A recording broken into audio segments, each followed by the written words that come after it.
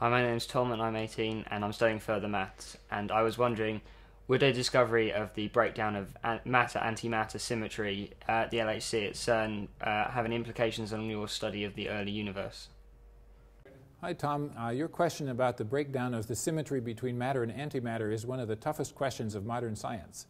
Astronomers can tell you that the universe does not have anti-galaxies.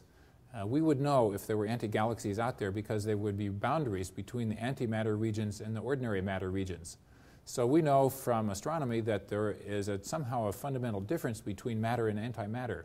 Nevertheless, the particle scientists have been studying this for a long time, and we can't really tell what is the difference between matter and antimatter.